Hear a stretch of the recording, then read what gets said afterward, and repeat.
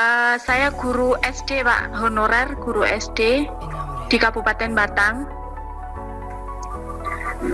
G. Silakan, ya. uh, izin bertanya, saya ada suatu pertanyaan. Jika di, S, di sekolah SD saya terdapat formasi yang diusulkan satu formasi, sedangkan tenaga honorernya lebih dari satu, itu yang diutamakan yang bagaimana Bapak G? Terkait dengan guru yang sudah memiliki sertifikat, ini nanti kuotanya apakah mengurangi jumlah kuota dari guru yang sudah masuk honorer dan K2 atau atau ada persentase tersendiri. Demikian Pak, terima kasih. Assalamualaikum. Apakah status guru honorer yang apa guru swasta itu masuk kategori guru honorer? Sementara jelas sekali mereka sudah pernah dapat impasing dari dulu sedangkan kami kesempatannya sepertinya malah belum ada. Eh, sehingga nanti kalau misalkan seperti ini kekhawatiran dari kami mungkin dari teman-teman kami itu justru berpeluang berpotensi menggeser guru yang ada di sekolah negeri bapak. Mohon mohon yang uh, saya guru agama di sekolah negeri bapak terkait dengan formasi guru agama itu seperti apa ya kelanjutannya? Dan ini ada juga yang guru TK ini paling banyak. Pak formasi guru TK ada untuk P3K mungkin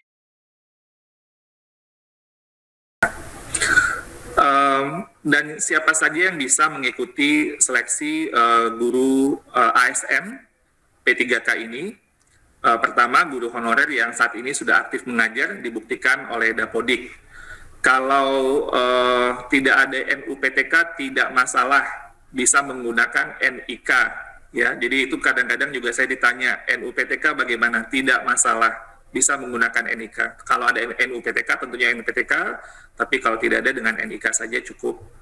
Lalu kemudian individu uh, yang selain dari yang aktif mengajar saat ini, yang sudah bersertifikat uh, pendidik melalui P itu juga bisa uh, ikut mendaftar uh, dan uh, guru yang pernah tercatat di Dapodik, nam, walaupun di tahun-tahun terakhir namanya sudah tidak tercatat di Dapodik pun juga bisa untuk mendaftar. Nah, ada hal yang juga dikhawatirkan yang ingin juga saya klarifikasikan dalam hal ini adalah uh, persaingan dengan guru-guru lain. Perlu saya sampaikan di sini, kami ingin sekali lagi memperjuangkan guru-guru yang saat ini telah mengajar di posisinya itu akan bersaing dengan dirinya sendiri jadi cukup dengan dirinya sendiri mencapai kompetensi yang minimal. Minimal saja. Jadi ini bukan yang paling hebat gitu, minimal saja. Jadi Bapak Ibu bersaing dengan diri sendiri. Jadi yang kalau yang bukan yang dari dari tempat Bapak Ibu, ya mereka bersaing dengan misalnya di, di sana kebutuhan gurunya tiga gitu, gurunya ada satu ya, berarti kan ada posisi dua yang yang lainnya. Nah, mereka yang lainnya itu. Sementara yang sudah mengajar di situ ya mungkin kajiannya rangkap-rangkap ya, mereka akan diperjuangkan tetap di situ. Jadi itu diprioritaskan gitu ya. Jadi sehingga Bapak Ibu akan bersaing dengan dirinya sendiri untuk mencapai passing grade yang minimal sebenarnya. Jadi ibaratnya kalau Bapak Ibu mengajar matematika ya kemampuan gimana sih guru matematika yang minimal gitu. Yang kita perlu uh, apa ya tentunya itu ingin buat uh, apa ya uh, karena dia guru ya ya kita marwahnya guru kan tetap kita jaga uh, guru bahasa Inggris atau guru IPS ya itu nilai minimalnya dan tapi dia bersaing dengan dirinya sendiri jadi ini yang yang paling penting untuk dipahami karena kembali lagi kami kami ingin memperjuangkan. Jadi ini komitmen dari kami. Tapi uh, pada saat yang sama bagaimana uh, ekspektasi minimal tadi kalau kontennya terutama ini konten ya. Nanti kalau nanti belajar ini Prof Mudi berarti kontennya ini kita kita perkuat ya. Uh, karena itu yang menjadi fundamental sekali. Um, dan juga ada nanti uh, pada saat ini tim GTK sedang bekerja keras Bapak Ibu semua untuk juga turut membantu. Jadi kami saya waktu Prof Mudi uh, menyampaikan pesan untuk uh, bahwa ada acara ini dengan kemudian rencana juga fasilitasi belajar, wah saya senang sekali karena teman-teman PGRI, waduh sudah duluan ini me, apa tapi sebenarnya kan guru bisa belajar ya kalau untuk kontennya ya sekarang di kapan dari tahun kemarin juga sebenarnya bisa kan. Jadi sebenarnya uh, kita terus uh, bersama-sama ini ber, bergotong royong ini bagaimana menguatkan karena uh, pada akhirnya uh, yang nanti uh, akan uh, mendapatkan hasilnya tentunya murid-muridnya ya. Kalau gurunya kontennya makin kuat ya murid-muridnya yang jadi lebih ini. Tapi kembali lagi dan ini sampai tiga kali ya Bapak Ibu supaya ini uh, bisa untuk uh, melalui tes tadi. Jadi uh, kalau gagal ya belajar lagi gitu kalau gagal sekali lagi masih udah belajar lagi. Jadi bantuan-bantuan ini akan terus uh, kita upayakan dan terima kasih sekali lagi untuk eh, PGRI terutama PGRI Provinsi Jawa Tengah yang sudah berinisiatif untuk terus menguatkan ekosistem belajar ini. Karena pada akhirnya transformasi pendidikan kita, kita tidak menyelesaikan masalah hanya untuk saat ini, tapi kita melihat untuk investasi masa depan bahwa ekosistem yang kita lihat untuk bisa maju sistem pendidikan ya budaya belajar ini. Budaya belajar ini adalah hal yang yang penting yang harus terus kita kuatkan. Tentunya teladan-teladan dari Bapak Ibu semua, terutama nih para pimpinan ya. uh, dari Prof Mudi dan semua jajarannya adalah sangat penting untuk hal ini. Um, untuk pendaftaran ujian seleksi uh, kita masih berdiskusi dengan Panselnas. Ini ada tentunya Bapak Ibu tentu paham ya. Kami di sini kan Kementerian Teknis ini yang memberikan uh, advice kepada yang uh, akan melakukannya dari Kementerian Pan-RB dan Badan Kepegawaian Negara, tentunya dengan Kementerian Dalam Negeri uh, dan KL lainnya uh, untuk me terus memfinalisasi proses. Uh, tentunya kita banyak banyak hal yang kita pertimbangkan uh, untuk melakukan uh, apa secara logistik seperti apa, tapi kita mengantisipasi uh, sekitar bulan Maret atau April pendaftaran ujian seleksi uh, bisa di, uh, dilakukan, dibuka, sehingga bisa langsung nanti di uh, mendaftar gitu ya. Um, dan proses ini nanti terdiri dari uh, pendaftar bisa untuk memilih uh, salah satu dari uh, tiga kategorinya, apakah dia guru honorer atau individu yang memiliki peserta uh, sertifikat pendidik atau guru honorer K2, menginput nomor ID, bisa itu nomor registrasi K2 atau NUPTK atau NIK bisa cukup atau nomor sertifikat pendidik. Setelah itu ada seleksi administrasi berupa seleksi berkas, berupa pernyataan tanggung jawab mutlak, KTP, surat lamaran, lalu pengecekan linearitas mata pelajaran dengan sertifikat pendidik atau latar belakang pendidikan. Ini bisa melalui Dapodik ya Bapak Ibu atau by system.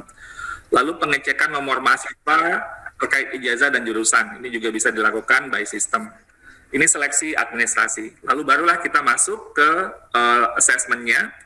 Uh, seperti assessment ASN ya uh, ada uh, kompetensi teknis itu kontennya kita nanti yang Bapak Ibu ampu lalu kemudian uh, kompetensi manajerial dan sosiokultural, dan pertanyaan wawancara yang dijawab tertulis.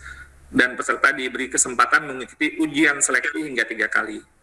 Lalu kemudian Pansernas akan menerima hasil dari assessment, dan uh, Badan Kepegawaian Negara akan melakukan uh, hasil, jadi mengolah hasil dan menyerahkan hasil perankingan peserta kepada sesuai formasi kepada pemerintah daerah. Dan pemerintah daerah nanti akan mengumumkan uh, peserta yang lulus beserta uh, sekolahnya. Dan kemudian uh, tahap akhirnya pemerintah daerah melakukan pemberkasan, membuat SK pengangkatan, dan menyerahkan SK pengangkatan serta kontrak tersebut kepada BKN. Um, jadi kira-kira itu dan mungkin tambahan terakhir adalah uh, untuk guru agama juga ini mungkin saya ingin juga mengklarifikasi. Saat ini kami masih dalam koordinasi dengan Kementerian Agama karena menurut Peraturan Menteri Agama Nomor 16 2010, pengelolaan pendidikan agama pada sekolah uh, di pasal 14, uh, eh, pengadaan guru pendidikan agama di sekolah diselenggarakan oleh uh, pemerintah dilakukan oleh Menteri dalam hal ini Menteri Agama. Juga pengadaan guru pendidikan agama dan juga uh, kebutuhan jumlah guru pendidikan agama ini di, ditetapkan oleh uh, Menteri Agama. Jadi kami terus berkoordinasi untuk mendorong uh, pengajuan untuk uh, guru agama untuk uh, masa berikutnya. Mungkin mungkin demikian dulu uh, yang bisa saya sampaikan uh, pada kesempatan ini. Saya tutup dengan ini ya uh, semboyan uh, Ki Hajar Dewantara yang menjadi uh, ini kita semua. Uh, Ingarso Sumtulodo, Ingmadia Mangunkarso dan Tuturi Handayani bahwa dalam sebagai pendidik kita semua uh, itu berlomba-lomba untuk menjadi teladan, lalu menjadi untuk menguatkan semangat, dan uh, untuk mendorong pada kemandirian atau memberdayakan bersama-sama. Inilah yang sebenarnya esensi dari uh, Merdeka Belajar. Mungkin itu uh, Prof. Mudi dan Bapak Ibu semua, uh, kita langsung bisa dialog, diskusi, tanya jawab. Assalamualaikum warahmatullahi wabarakatuh. Waalaikumsalam. Luar biasa Pak Dirjen. Uh, sebelum saya buka nanti juga mohon ditanggapi. Ini beberapa uh, pertanyaan uh, yang sudah sering kita berdebatkan. Pertama tadi nyinggung guru agama tapi juga perlu kami laporkan di guru-guru di sekolah-sekolah Kementerian Agama. Kebetulan juga anggota kami Bapak. Ini mereka merasa loh kami ini termasuk yang satu juta apa tidak karena Kementerian Agama sampai sekarang tidak ada informasi mohon Bapak juga bisa bantu ini tidak hanya guru agama tadi tapi juga sekolah-sekolah di Kementerian uh, Agama Bapak saat ini kami akan melakukan bimbingan memang atau sebut saja simulasi. Kita buka baru empat hari ini ya. Sudah 43.450 orang yang akan uh, ikut. Bisa jadi ini nanti mencapai di Jawa Tengah angka dua kali lipat dari itu. Dan kami akan lakukan bimbingan, akan tryout gratis Pak. Ini ini PKRI Jawa Tengah nggak ada yang bayar Pak model kalau di Jawa Tengah semua kita selenggarakan secara eh, cuma-cuma uh, dan kami akan mengambil SDM dari berbagai ahli dari anggota yang kebetulan dari perguruan tinggi, UKRIS, UNES dan uh, juga teman-teman guru terbaik. Uh, bimbingan teknis nanti di APKS Kabupaten Kota sehingga kita harapkan bisa lebih uh, teknis lagi. Hanya saja Bapak kami juga mau nanti diberikan penjelasan ada keraguan juga Pak apakah P3K ini jangan-jangan nanti setahun diputus, setahun diputus itu ini juga ketakutan yang saya kira Bapak perlu uh, memberikan kejelasan. Yang kedua, ada ndak yang di bawah 35 tahun kalau CPNS dibuka bisa daftar di CPNS. Dan yang sangat-sangat mengganggu Bapak karena Mas Menteri sudah memberikan klarifikasi sebenarnya formasi CPNS guru akan tetap dibuka apa tidak. Karena kalau tidak, pasti kami merasa ada ketidakadilan. Dan eh, mohon maaf Pak, tapi ini karena kebetulan saya hadir di istana waktu itu, bahwa P3K ini adalah solusi untuk mengatasi sebut saja mungkin krisis uh, dan guru-guru honorer yang sudah 35 tahun ke atas ini kan enggak mudah diakomodasi lewat CPNS. Maka kami tetap kalau formasi lain ada CPNS guru tidak, wah berarti ini diskriminasi. Ini perasaan uh, kami uh, semuanya dan mohon juga bisa memastikan klarifikasi dari uh, Mas Menteri yang lain tadi mengenai anggaran ini tadi dari kabupaten kota sudah mulai ada yang tanya. Saya kira Bapak tadi sudah menjelaskan bahwa pemerintah menyediakan anggaran ini. Bapak mungkin uh, ini mohon ditanggapi dulu. Sambil teman-teman silahkan uh, nanti akan saya beri kesempatan bertanya kalau masih ada waktu. Saya persilahkan Bapak. Terima kasih Prof. Mudi. Uh, untuk untuk guru-guru uh, di Kementerian Agama, uh, pada saat ini mereka uh, berproses ya, uh, Prof. Mudi. Saya tidak mengikuti dari dekat sekali, tapi saya tahu dari diskusi dengan Kementerian Agama, ini mereka sedang dalam uh, seperti yang apa yang kita lakukan sebelumnya untuk melakukan koordinasi lintas kementerian, menghitung perencanaan kebutuhan dan kemudian menghitung formasi dan nanti juga sosialisasi dengan pemerintah daerah untuk kemudian uh, uh, di, dihitung ini uh, untuk guru-guru uh, yang ada di Kementerian Agama. Jadi tentunya atau di Kanwil Kanwil ya sorry. Maksudnya di Kanwil Kanwil kalau di Kementerian Agama. Jadi ini ini bagian yang proses sedang berjalan. Uh, lalu bimbingan belajarnya luar biasa. Terima kasih sekali lagi Prof. Mudi dan ini inilah yang kita harapkan sebenarnya uh, gerakan guru kita untuk belajar dan berbagi ya. Dan ini yang terjadi selama pandemi. Jadi ini menurut saya uh, sangat tepat sekali dan ini harapan harapan yang luar biasa Prof. Mudi uh, kita menaruh harapan pendidikan Indonesia akan jauh lebih baik dari momentum yang ada karena pandemi ini dan bahkan sebenarnya sebelum-sebelumnya, tapi dengan teknologi jadi jauh memudahkan. Um, lalu tentang keraguan P3K setahun putus tidak ya, uh, saya karena kita kebut, kita butuh butuh jadi tidak mungkin. Uh, ini artinya ini proses yang uh, memang P3K hanya seperti itu, tapi memang uh, dalam skema perencanaan kita ini tidak tidak uh, ke apa diputus ini tidak tidak dan BKN juga sudah bilang ya. Lalu kemudian uh, CPNS uh, di dibuka apa nih maksudnya di bawah 35 tahun bisa. Jadi tidak tidak menutup. Jadi bukan berarti kalau udah P3K nggak boleh CPNS, justru nanti uh, terutama yang nanti yang uh, untuk CPNS ya, performa selama jadi P3K itu bisa menjadi uh, syarat atau apa ya uh, catatan untuk bisa berhasil untuk masuk dalam itu kami sedang memikirkan juga untuk untuk uh, skemanya nanti. Jadi artinya uh, mereka mengikuti proses CPNS itu dengan sebuah track record. Jadi bukan bukan sekedar mereka ikut tes saja, tapi ada track record yang bisa menjadi catatan uh, jika berprestasi yang baik uh, itu bisa memperbesar kemungkinan untuk uh, mendapatkan CPNS-nya. Lalu formasi CPNS ialah Prof. Nudi tetap akan dibuka, jadi tidak tidak benar ya, tidak benar ya, ya uh, bahwa tidak tidak ada. Jadi uh, ini seperti yang Prof. Bilang, ini kan kita step by step ya, karena uh, ekosistem tata kelola uh, guru kita seperti yang Bapak Ibu tahu dengan desentralisasi pendidikan itu kan ada berapa? 514 tambah 34 uh, provinsi, kabupaten kota dan provinsi. Jadi luar biasa sebenarnya uh, kami coba untuk memperbaiki sistem ini sehingga nanti bisa lebih baik termasuk nanti juga yang sa saat ini ini solusi uh, jangka pendeknya dulu untuk P3K ini. Tapi nanti ada ada solusi yang mekanisme yang lebih uh, lebih uh, sustainable yang berkelanjutan. Karena uh, ya kita tahu sam kita sampai pada angka kebutuhan sampai satu juta ini kan berarti sebelumnya sudah uh, luar biasa ini uh, profesi yang uh, apa uh, tidak optimalnya itu gitu. Jadi kita ini yang ingin kita selesaikan dulu dan mudah-mudahan kembali lagi ini kita ingin uh, memperjelas status uh, guru-guru uh, kita dan kesejahteraan mereka dan mereka mendapatkan tunjangan dan jaminan kerja.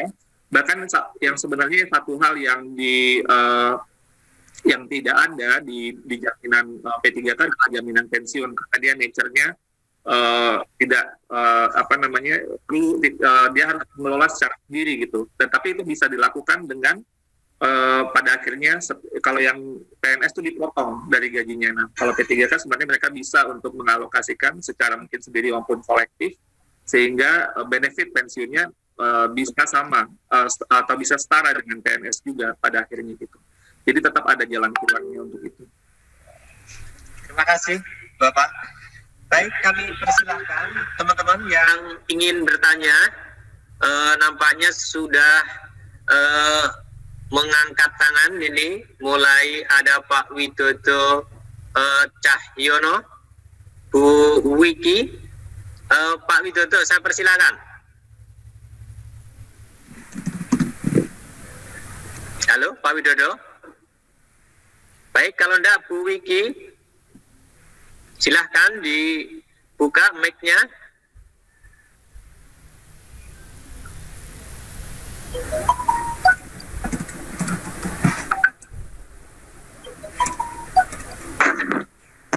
Selamat siang, Bapak. Ya, selamat Asal... siang, Monggo. Uh, terima kasih atas waktunya, Bapak. Mohon izin bertanya. Uh, saya guru SD Pak, honorer guru SD di Kabupaten Batang. Oke. Ya. Uh, izin bertanya, saya ada suatu pertanyaan. Jika di, S, di sekolah SD saya terdapat formasi yang diusulkan satu formasi, sedangkan tenaga honorernya lebih dari satu, itu yang diutamakan yang bagaimana Bapak Nggih? Mungkin itu pertanyaan dari saya Pak. Terima Nggih. kasih. Terima saya kasih Bapak. Pak Dirjen nggih. Kami persilahkan berikutnya Ketua PGRI Kota Magelang.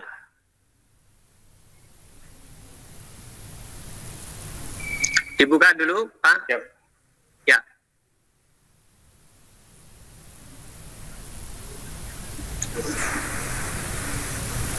Assalamualaikum warahmatullahi wabarakatuh.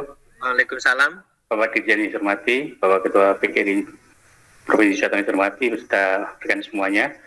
Ada beberapa pertanyaan. Yang pertama terkait dengan uh, kuota di masing-masing daerah, apakah itu sudah bisa memenuhi kekurangan jumlah guru di daerah tersebut? Yang kedua, siapa yang menentukan untuk uh, pendataan ini, kekurangan dan kelebihan guru di masing-masing daerah, apakah diserahkan daerah atau sudah ada uh, memang kuota dari pusat? Kemudian yang ketiga, terkait dengan guru yang sudah memiliki sertifikat ini nanti kuotanya apakah mengurangi jumlah kuota dari guru yang sudah masuk honorer dan K2 atau atau ada persentase tersendiri. Demikian Pak, terima kasih. Assalamualaikum warahmatullahi wabarakatuh. Terima kasih. Uh, mungkin biar nanti Bapak bisa ngatur waktunya. Hanya tambah satu ini Pak yang di chat ini banyak Pak kalau P3K Pak bisa berkarir, bisa jadi kepala sekolah misalkan.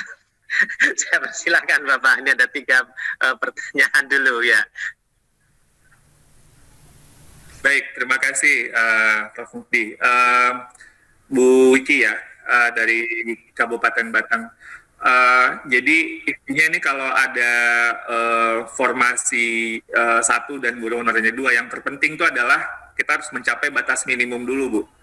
Uh, itu itu yang penting pertama. Uh, dan yang kedua uh, ya berarti nanti itu diserahkan kepada uh, PPK daerahnya karena itu tergantung nanti penempatannya distribusi gurunya seperti apa. Kan daerah yang lebih tahu uh, di di mana baiknya untuk uh, menempatkan guru honorer yang satunya lagi yang juga sama-sama uh, uh, melewati batas minimum tersebut itu ya itu jawaban dari uh, saya lalu Pak siapa tadi ya Pak dari Magelang? Oke, okay, uh, eh, kota daerah apakah sudah diajukan? Ya, dalam Pak Nurwi ya, oke. Okay. Pak Nurwi. Ya. Pak Nurwi. Terima kasih Pak Dua pertanyaannya tentang ya. kota ini. Ya. Oke. Pertama, siapa yang uh, menentukan kota? Yang menentukan kota, uh, kami sebenarnya uh, kita memiliki data, Pak. Data kita itu sebenarnya uh, cukup komprehensif. Namun tentunya uh, yang memiliki otoritas itu ada di daerah. Itu tentunya kita melakukan uh, dialog, sosialisasi, bahkan kami melakukan semacam uh, apa ya, coaching one on one gitu, Pak ya. Waktu di kemarin itu selama bulan November Desember dengan uh, semua dari pemerintah kabupaten kota dan provinsi untuk mencocokkan data dan kemudian sama-sama me melihat uh, peta dari kebutuhan guru distribusi guru yang ada di daerah uh, yang ada gitu. Jadi ini memang uh, komunikasi terus kita lakukan untuk memastikan uh, uh, apa kebutuhan itu bisa sinkron gitu pak ya antara data kita dan mungkin kita juga bisa belajar dari data yang ada di daerah juga gitu. Tapi pada pada prinsipnya uh, data ini uh, hal yang terus kita koordinasikan dan su sudah sosialisasikan ya Pak. Jadi ketika kemarin kita me, uh, berdialog dengan daerah, kita bukan hanya dialog paparan aja di depan gitu. Kita udah ngobrol sama dari dinasnya one on one gitu. Jadi biar uh, apa clear gitu ya uh, uh, data tersebut. Dan kota diajukan oleh daerah masing-masing. Mungkin bisa nanti uh, kalau menurut saya bisa dicek ke dinas uh, setempat, Bapak. Uh, seperti apa yang sudah diajukan. Tentunya harapan kami diajukan secara maksimal ya Pak. Tapi uh, beberapa daerah mungkin juga ada yang belum melakukan hal tersebut uh, dan itu perlu terus didorong sebenarnya. Lalu uh, guru yang sertifikat apakah mengurangi kuota? Pak, menurut saya uh, kita uh, butuh guru satunya. Terus uh, guru yang honorer itu ada 42 ribu yang guru lulusan PPG dari tahun 2006 sampai 2019 saya hitung cuma 30 ribu Bapak. Betul Pak. Jadi sebenarnya ya, tidak tidak tidak akan itu jauh banget kita butuh satu juta Bapak. Jadi artinya uh, itu jauh sekali dan tadi makanya saya bilang sama Prof. PR kita di LPTK luar biasa ini karena harus mengejar untuk kebutuhan guru yang itu pun masih ada 200 ribu guru yang kurang gitu kan. Jadi uh, kita ini masih belum selesai ini sebenarnya karena masih banyak lagi PR-PR ke depan. Uh, tapi tapi jawabannya tidak. Ini ini akan uh, apa nama apa namanya uh, jauh dari kebutuhan masih gapnya masih jauh gitu pak. Itu mungkin dari uh, Pak Nurwi ya. Yang terakhir tadi apa Prof? Saya lupa. Uh, Pak Nur masih ya tadi ya? Enggak, Pak Nurmi tadi eh, Pak Pak Budi tadi sama satu lagi pertanyaan oh, tadi. Oh, dari saya tentang karir Bapak. Bisa jadi oh, kepala sekolah iya. tidak? Iya. Bisa. Bisa, bisa. Jadi nanti uh, skemanya uh, tentu uh, ada ada proses yang berbeda gitu, tapi uh, itu itu memungkinkan dan bahkan kita akan kalau memang uh, apa ya uh, memiliki kompetensi itu bisa dimungkinkan untuk uh, memiliki dan bahkan menurut, menurut saya itu yang akan kita lebih pentingkan nanti. Bukan statusnya tapi dari kompetensinya. Sehingga bisa menjadi uh, guru penggerak juga nanti ya ikut pelatihan guru penggerak gitu. Lalu menjadi kepala sekolah atau pengawas sekolah mau jadi kepala dinas juga boleh gitu ya. Jadi ini artinya memungkinkan untuk itu sehingga uh, kita memiliki ekosistem pendidikan dari memang guru-guru yang berkompetensi uh, uh, yang yang baik gitu, yang tentunya bisa uh, tujuannya itu kita satu satu fokus gitu, fokusnya adalah melayani anak-anak uh, karena filosofi uh, buat pemimpin sekolah kan sekarang lebih ke instructional leadership untuk fokus hmm. kepada instruction pembelajaran anak. Kepala sekolah kalau jadi pemimpin fokusnya ke situ. Pengawas sekolah ketika dia melakukan pengawasan fokusnya ke situ. Jadi yang pada akhirnya inginkan ekosistem uh, pendidikan kita itu betul-betul pusat untuk uh, melayani anak. Karena memang itulah uh, apa kelemahan kita yang utama selama berpuluh-puluh tahun yang berbagai ini ya studi kayak PISA kemarin salah satunya itu yang uh, seperti kayak jalan di tempat gitu gitu kan. Karena uh, proses sudah akses sudah lebih bagus tapi uh, dari hasil itu yang menjadi uh, PR kita bersama. Jadi um, kita ingin pemimpin yang memiliki kompetensi yang bisa untuk memimpin uh, menjadi instructional leader, jadi pemimpin yang berfokus kepada pembelajaran murid. Itu. Jadi jenjang uh, karir kepangkatannya sama ya Pak Dirjen ya? Bisa Pak, bisa bisa nanti itu mengisi posisi-posisi untuk uh, jenjang karir dan kan uh, hak untuk melakukan mendapatkan uh, kompetensi gitu ya Pak penghargaan kan itu juga bagian dari uh, untuk P3K termasuk kepangkatan ya Bapak ya? Ke kepangkatan itu kepangkatan apa Pak? Kepangkatan yang... Ya, eh, kan kalau 3A ya, 3B dan selanjutnya? Kalau jadi kalau dia sama? mengisi posisi yang lebih tinggi, uh, dia dia tidak ada kepangkatan, tapi dia akan disetarakan dengan uh, kepangkatan itu. Ada impasing ya Pak, betul ya? Ada ada ya, ada ada setaraannya gitu ya. Jadi kalau dia nanti uh, mengisi posisi misalnya nih Pak ya, dia mengisi untuk uh, posisi guru muda ke guru media gitu ya Pak. Ya, ya. Atau ya. jadi kepala sekolah gitu. Nah, berarti nanti disesuaikan untuk uh, setara dengan uh, yang PNS untuk golongan tersebut. Baik, Bapak. Uh, masih ada waktu berapa menit, Bapak? Uh, sudah lewat oh, ini yang ngantri banyak sekali, tapi saya harus tanya dulu ke Bapak ini. Di chat juga luar biasa kalau. Oke, saya udah Bapak memberi waktu berapa menit? Mungkin lima menit lagi boleh ya, Prof. Budi. Baik, kalau lima menit lagi, saya hanya akan minta nih Pak Dedi sudah lama, uh, saya akan persilahkan tanya nanti beberapa uh, pertanyaan di chat akan saya coba rangkum. Saya persilahkan Pak Dedi. Terima kasih. Assalamualaikum warahmatullahi wabarakatuh.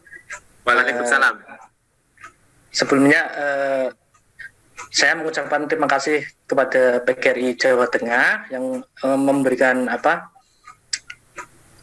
pelatihan ya nanti akan memberikan peladan itu sangat uh, sangat membantu kami.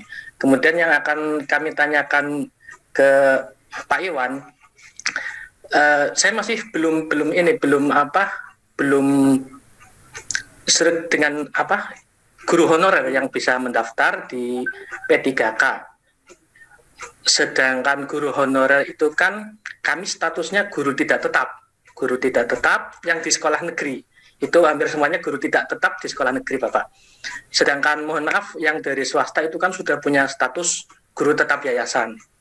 Eh, guru tetap yayasan kan berarti mohon maaf bukan honorer ya, sudah punya gaji kalau kalau yang dalam yang di negeri itu kan uh, honor lah baru baru se apa baru honor. Kemudian yang kedua perbedaannya lagi uh, kami pernah menyampaikan ke PGRI Jawa Tengah tentang serdik yang apa yang diperoleh oleh guru honorer di dalam negeri di sekolah negeri itu juga banyak sekali yang belum bisa cair. Sementara di swasta kan sudah sudah sudah bisa cair karena SK-nya dari SK yayasan. Uh, saya, saya yang saya tanyakan ya tadi itu apa apakah status guru honorer yang apa guru swasta itu masuk kategori guru honorer? Sementara jelas sekali eh, mereka sudah pernah dapat passing dari dulu sedangkan kami kesempatannya sepertinya malah belum ada uh, sehingga nanti kalau misalkan seperti ini kekhawatiran dari kami mungkin dari teman-teman kami itu justru berpeluang berpotensi menggeser guru yang ada di sekolah negeri Bapak. Mohon mohon apa uh, kami di apa dibombongi diberi pencerahan Bapak. Mohon maaf bila ada yang kurang berkenan. Terima kasih. Assalamualaikum warahmatullahi wabarakatuh. Waalaikumsalam. Yang kedua ini ngacung terus ini berombongan. Mbak Imania CS, saya persilakan. ini dari mana nih? Monggo Bu Imania. Buka dulu Bu. Mic-nya masih merah. Ya. Uh, ada yang uh, saya guru agama di sekolah negeri Bapak terkait dengan formasi guru agama itu seperti apa ya kelanjutannya? Cukup? Ya. Baik Pak, mungkin menambahkan sedikit Pak. Ada ini. lagi Bapak sebentar. Ya. Uh, untuk apa? yang serdik itu GTT, GTT yang berserdik honorer itu gimana ya? Honorer. Oke. Jadi Pak Dirjen ada, ada Ya, terima kasih Pak Dirjen. Mungkin untuk tambahan saja, memang sering ke PGRI adalah uh, teman-teman guru GTT honorer banyak yang sudah sempat mengikuti PPG. Baik PPG mungkin waktu itu uh, apa namanya SM3T atau pernah juga memang diberi kesempatan guru-guru honorer ada yang bisa ikut PPG dalam jabatan. Tapi akhirnya tidak semua provinsi atau kabupaten memberikan SK yang memungkinkan tunjangannya cair. Uh, sehingga termasuk di Jawa Tengah itu sampai sekarang belum cair karena uh, tidak bisa cair karena gubernur atau kepala dinas nampaknya belum memberikan uh, eh, SK terkait mereka sebagai guru pengganti minimal misalkan atau kabupaten kota juga ada yang belum. Lalu yang kedua ini juga ditanyakan uh, P3K yang formasi 2019, Bapak, ini SK-nya banyak yang belum juga keluar sampai saat ini. Masalahnya di mana?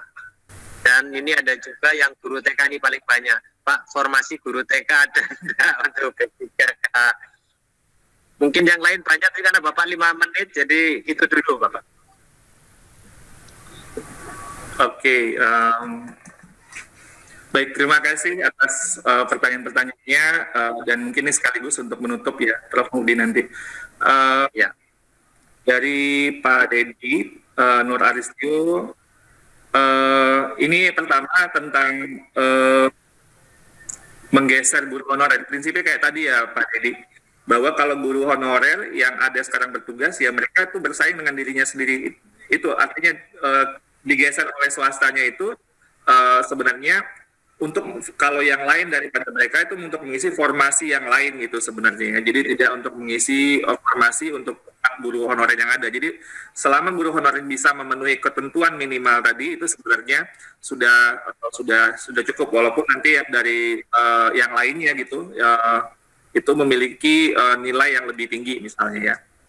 Lalu kemudian uh, sertifikasi pendidik ya. Jadi dengan menjadi guru P3K tentunya ini bisa karena ketika jadi P3K itu di, di, dikeluarkan SK-nya oleh uh, pejabat pembuat komitmen Pemda yang ada di daerah sehingga sertifikat uh, apa itunya bisa cair ya, PPG-nya bisa cair.